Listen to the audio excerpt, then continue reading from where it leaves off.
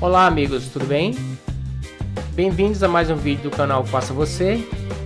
Nesse nós trouxemos uma planta de 3 quartos, sendo uma suíte, dois banheiros, garagem, cozinha americana, espaço para sala de jantar e estar. Essa planta possui 8,60 de frente por 14,86 de fundos.